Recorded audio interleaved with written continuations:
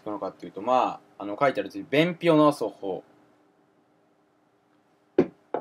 え便秘を治す方法について、えーお話ししていこうと思います。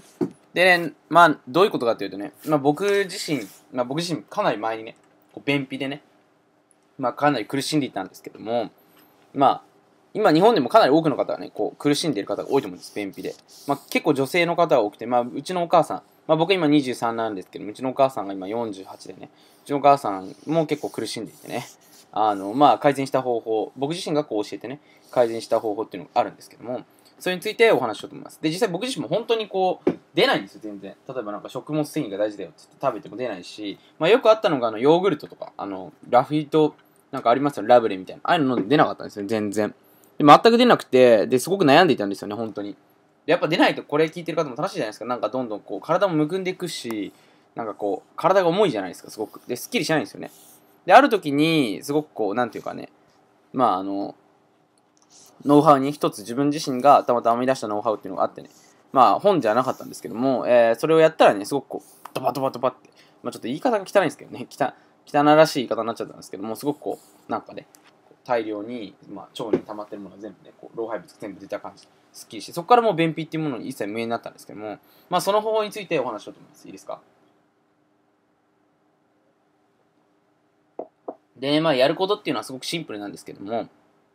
えーまずはね、何をやるかっていうと、えーまずですね、水を飲む量を増やしてください。水を飲む量。いいです。で、まあ、いきなり聞いてこれ何なのかと思う方もいると思うんですけど、ほとんど、あの、便秘に溜まってる方っていうのは、腸内に、こう、宿便がね、たま、ついてるんですよ。ずっとすごくこう。まずは。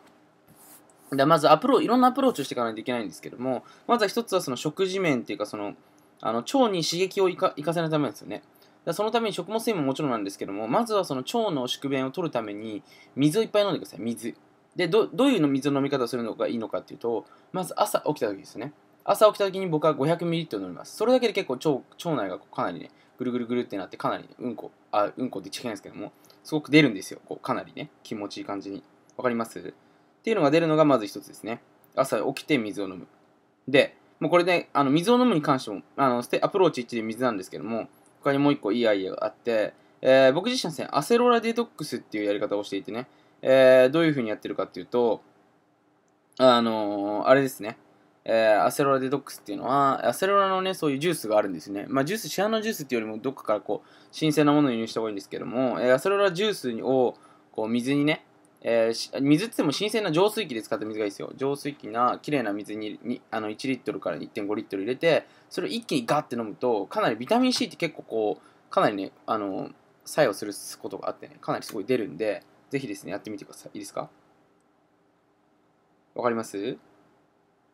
そう。だからまずはね、そのアプローチ2では、えー水、アプローチ1ですね、えー水を大量に飲むってことをやってみてください。いいですか？それ一気に飲むと本当にこうしばらくしたらお腹がぐるぐるぐるってくるんで、いいです。まずそれがアプローチ2です。で、今アプローチ1は水についてだったんですけど、アプローチ2ですね、アプローチ2。えー朝ごはんは食べない方がいいです。朝ごはんは食べない方がいいです。で、これ、日本人って本当にね、食べ過ぎなんですよ、食べ過ぎ。で、まあ、これ知ってる方もいると思うし、え1日ね、本来は2食だったんですよ、昔の時代っていうのは。それがまあこう戦後、えー GHQ、えー明治時代からですよね。えーまあ、パンっていう、まあ、これ原因はいろいろある、説説はいろいろあるんですけど、パンが来たことによって、そのパンを売るために結局その1日3食食べた方がいいよっていうその習慣を植えさせるために、まあ、うまいマーケッターがいたんですよね。えーそれであの1日3食っていう習慣がね、あったらしいんですけども、えーそれからですね、最近になって便秘っていうものが、えー悩みが起きるようになったんですよ。便秘の悩みって。わかります？だから何をしなきゃいけないのかっていうと、まずあなた自身が、その、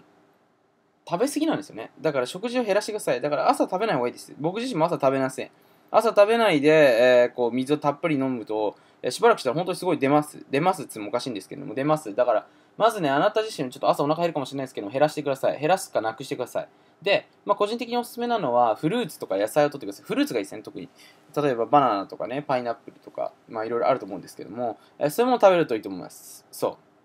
う。いいです？ちょっと今画面がね、なんかおかしくなっちゃったんですけども、ちょっとどうなってるのこれ。えー、まあいいや。わかります？だからね、そう、あの、便秘を治す方法ってところなんですけども、えーそういうことですね。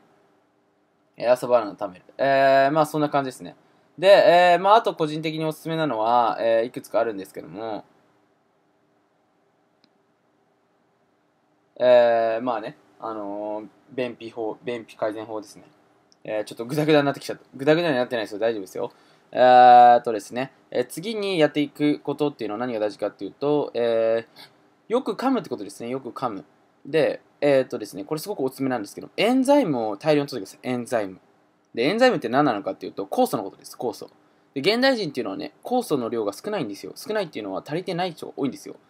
で、酵素って何かっていうとね、まあ分かりやすく言うと、あなたがね、いくらこう栄養を取ったりしても、こう、それをね、組み立て、要は栄養素、ビタミンとかね、こう、ミネラルとか、まあ、あの、タンパク質とかね、トレースミネラルとか、いろいろ取るんですけども、それはね、結局、あなたの腸が汚ければ、まず吸収もできないのもそうなんですけども、あの、実はダメなんですよね、それ栄養素だけで。栄養を取ればいいっていう勘違いしてる方がいるんですけども、で何が大事かっていうと、栄養は、そのあくまでも道具なんですよ。道具要は何かという家を作る時の木木材みたいなものなんですよ。で結局その工場のおっさんがいないと作れないわけじゃないですか、家っていうのは。それと同じなんですよね。あなたがいくら栄養を取ろうが、その工場のおっさんがいない限りダメなんですよ。で、その工場のおっさんの役割をするのが、このエンザイムっていうものなんですよね。酵素っていうものなんです。でも現代人の人っていうのは酵素っていうのは取れてないんですよ。なぜかっていうと、酵素が何に入ってるか知らないし、酵素が今の時代に入ってる食べ物が少ないんですよ。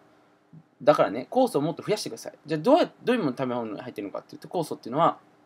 生の食べ物ですよね。生の野菜とか生のフルーツ。そういうもの入ってるから、できれば生のものも多く食べてください。だから僕自身もね、こういつももやしじゃなくてね、キャベツと、えー、トマトとね、アボカドと、まあ、キュウリとかね、そういうものでサラダ自分で作るんですけども、一回も煮ない、煮ないっていうか、その焼かないです。焼くとね、こう酵素ってエンザイム死んじゃうんで、えー、ぜひそのままやってるんですけども、それで一気にこう食べると、すごくお腹ぐるぐるぐるって本当にいっぱいあります。うん。本当これやるだけでもかなり効果あるんで、ぜひやってみてください。エンザイム大量に取るってことですね。1日本当1回はね、すごい山盛りのサラダ食べることをお勧めします。で、あともう一つ、えー、パターンあ、アプローチがあって、それ何かというと、これもかなり最近おすすめの本です。トランポリンです、トランポリン。で、僕自身トランポリンを買いました。うん、トランポリンを買って、まあ、あの調べてみるとトランポリン3000円ぐらいで売ってるので結構安いですよね。トランポリンで毎日ジャンプしてると、かなりこうね、腸が刺激されて、すごくこう、あなたジャンプすると結構いいって聞いたことあると思うんですよね。それと同じでジャンプするとかなり腸が刺激されて痩せるんで、痩せるし、しかもこううんこもいっ